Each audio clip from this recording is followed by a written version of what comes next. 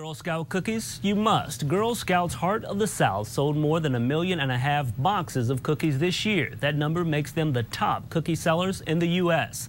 ABC 24's Jackie Orozco explains how they did it.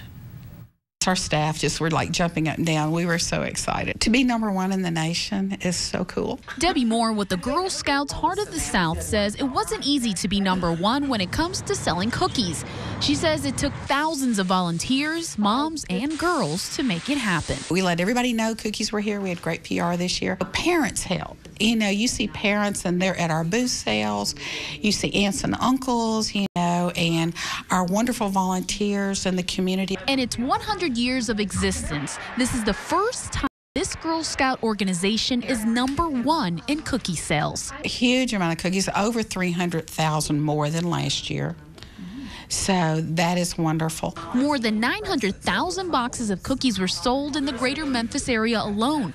Organizers say on average, each Girl Scout sold more than 200 boxes. So you're probably wondering which cookies sold the most. It was actually a tie between the Thin Mints and the Samoas. In case you're still in the mood for some Girl Scout cookies, the prices haven't changed and remain at $3.